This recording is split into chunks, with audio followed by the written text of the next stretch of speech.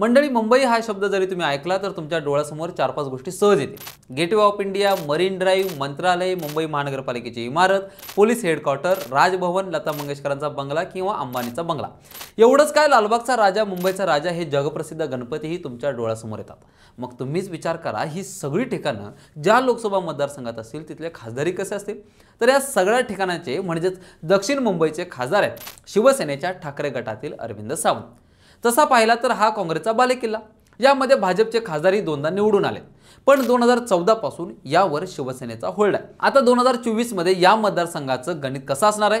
ठाकरे गटाला कोण चॅलेंज देणार आहे? हेच आपण या व्हिडिओच्या माध्यमातून पाहणार आहोत. नमस्कार मी सूरज पाटील. लगावबत्तीमध्ये तुमचं स्वागत.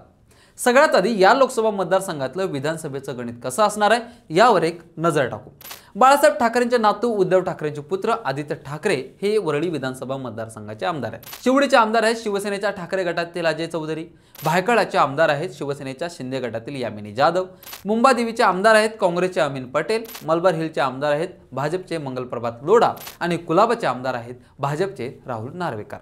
साध्या भाषेत सांगायचं म्हणजे शिवसेनेच्या ठाकरे गटाचे दोन आमदार भाजपचे दोन आमदार शिंदे गट आणि काँग्रेसचे प्रत्येकी एक आमदार या लोकसभा मतदारसंघात आहेत. साहजिकच ठाकरे गटाचं प्राबल्य जास्त आहे. बड्या हस्तींचा बनलेला हा लोकसभा मतदारसंघ निवडणुकीमध्ये इंटरेस्टिंग ठरतो. मी व्हिडिओच्या सुरुवातीला दक्षिण मुंबई या लोकसभा मतदारसंघाला काँग्रेसचा बालेकिला का म्हटलं तेही थोडक्यात समजून घ्या. एकोणीसशे चौऱ्याऐंशी ते एकोणीसशे शहाण्णवपर्यंत काँग्रेसच्या मुरली देवराय यांच्याकडे हा मतदारसंघ होता. तर दोन हजार चार ते दोन हजार चौदा पर्यंत मुरली देवराय यांचे पुत्र मिलिंद देवराय यांच्याकडे हा मतदारसंघ राहिला. म्हणजेच काँग्रेसकडे म्हणण्यापेक्षा देवरा पिता पुत्रांकडे हा मतदारसंघ सर्वाधिक काळ राहिला. यामध्ये एकोणीसशे शहाण्णव ते एकोणीसशे अठ्ठ्याण्णव आणि एकोणीसशे नव्याण्णव ते दोन हजार चार असे दोन टर्म भाजपच्या जयवंतीबेन मेहता यांनी या मतदारसंघाचं काम पाहिलं. आणि दोन हजार चौदा आणि दोन हजार एकोणीस असे दोन टर्म शिवसेनेचे अरविंद सावंत या मतदारसंघात काम पाहतात.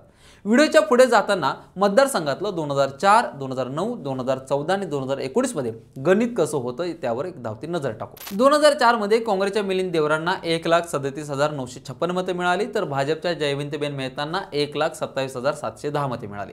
दोन हजार नऊमध्ये काँग्रेसच्या मिलिंद देवरांना दोन लाख बहात्तर हजार चारशे अकरा मते मिळाली. तर मनसेच्या बाळा नांदगावकरांना एक लाख एकोणसाठ हजार सातशे एकोणतीस मते मिळाली. आणि शिवसेनेच्या मोहन रावलेंना एक लाख शेहेचाळीस हजार एकशे अठरा मते मिळाली आहेत दोन हजार चौदामध्ये मतांच्या आकडेवारीमध्ये ट्विस्ट आला.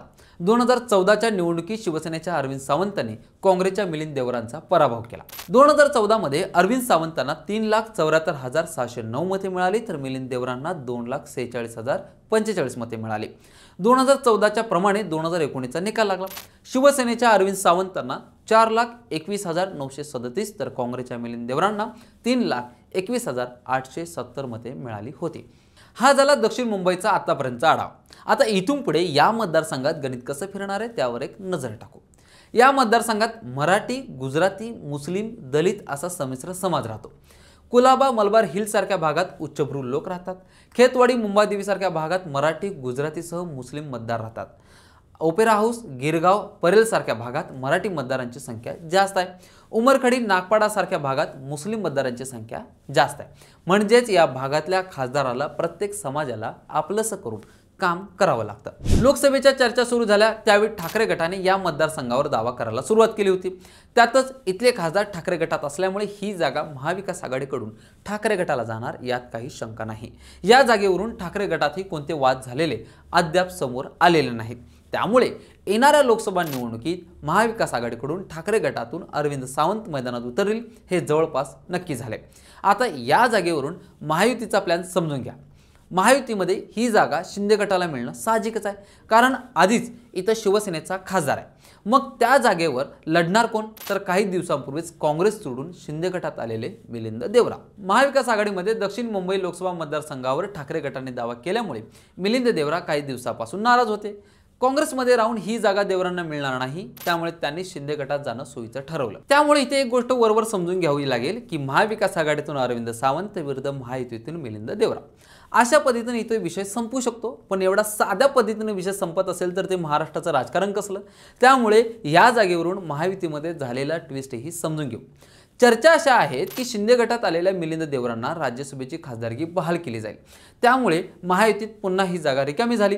मग रिकामी झालेल्या जागेवर उतरणार कोण? तर त्याचं उत्तर आहे भाजपचा उमेदवार. या मतदारसंघातून मैदानात उतरण्यासाठी भाजपकडे तीन बडे चेहरे आहेत. एक म्हणजे मलबार हिल परिसरात राहणारे पियुष गोयल. पियुष गोयल यांच्याकडे रेल्वे वाणिज्य आणि उद्योग मंत्रालय आहे. उच्चभ्रू लोकांच्या सहवासात राहणारे पियुष गोयल हे या मतदारसंघातून उतरू शकतात. भाजपकडे दुसरा चेहरा आहे मंगलप्रभात लोढा यांचा. अब्जाधीश व्यापारी आणि राजकारणी अशी लोढा यांची ओळख आहे.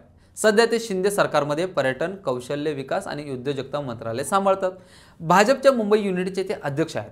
लोढा हे मॅक्रोटेक डेव्हलपर्सचे संस्थापक आहेत. सगळ्यात महत्त्वाचं म्हणजे मुंबई रिअल इस्टेटचे ते डेव्हलपर्स आहेत. मलबार हिल विधानसभा मतदारसंघाचे आमदार आहेत. तर फोर्ब्सने ऑक्टोबर दोन हजार तेवीसमध्ये जाहीर केलेल्या अहवालानुसार लोढा यांची संपत्ती सात पॉईंट दोन अब्ज डॉलर इतकी आहे. भारतातील सर्वात श्रीमंत व्यक्तींच्या यादीत मंगल प्रभात लोढा यांचा अठरावा नंबर लागतो.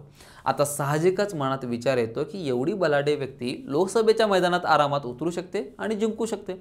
मात्र अडचण अशी आहे की दक्षिण मुंबई मतदारसंघात मराठी बहुल मतदारही मोठ्या प्रमाणात आहेत. त्यामुळे भाजपला या मतदारसंघात उमेदवार उतरवायचा असेल तर तो मराठी असणंही तितकंच महत्त्वाचं आहे. त्यामुळे भाजपकडे तिसरा आणि शेवटचा पर्याय उरतो. तो म्हणजे विधानसभा अध्यक्ष राहुल नार्वेकर यांचा. तसं पाहायला गेलं तर राहुल नार्वेकर हे सध्या कुलाबा मतदारसंघाचे आमदार आहेत.